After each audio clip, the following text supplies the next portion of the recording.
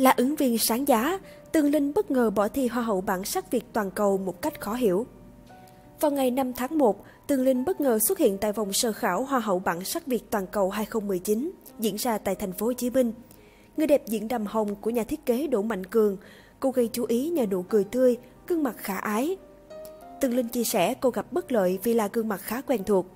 Thí sinh cố gắng làm mới mình tại cuộc thi.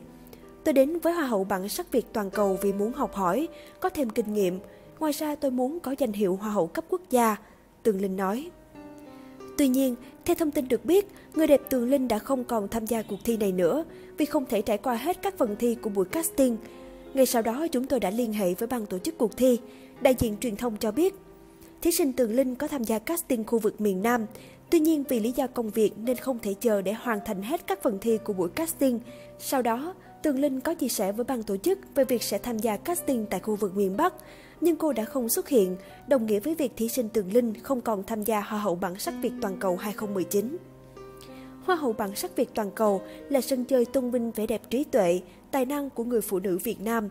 Ngoài các thí sinh trong nước, cuộc thi nhận hồ sơ của những người đẹp Việt kiều hoặc gốc Việt trên toàn thế giới.